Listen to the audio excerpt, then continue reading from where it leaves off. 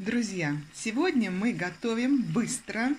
Я взяла 4 окорочка утиных, можно брать куриных, э, разрезала вот на разные части и просто бросила они жирные в мультиварку.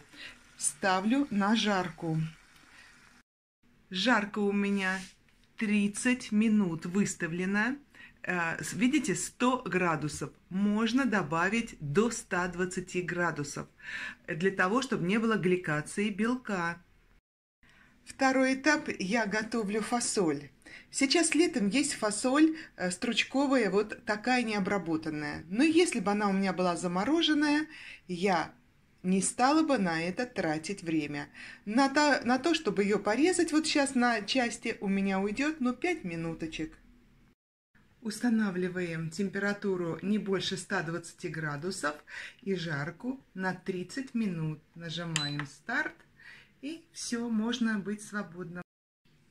Вот я пришла, э, прошло 30 минут, мясо прижарилось на маленькой температуре.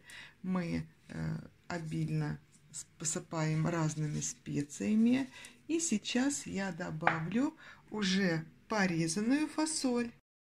А, получается, что я потратила 2 минуты, выложив мясо. Еще 5 минут я резала фасоль. И вот мне надо заложить после того, как я специями посыпала. Ну, посчитайте сами. Сейчас будет прекрасный обед. Чесночок, еще какие-нибудь приправы.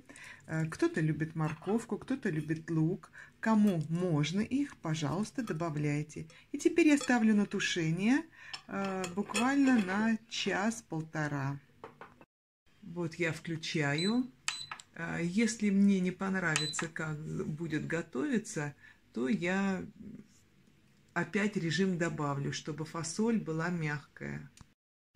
Вот поставила режим тушения 2 часа. Могу проверить блюдо через час-полтора. Но пусть томится и будет вино вкусное.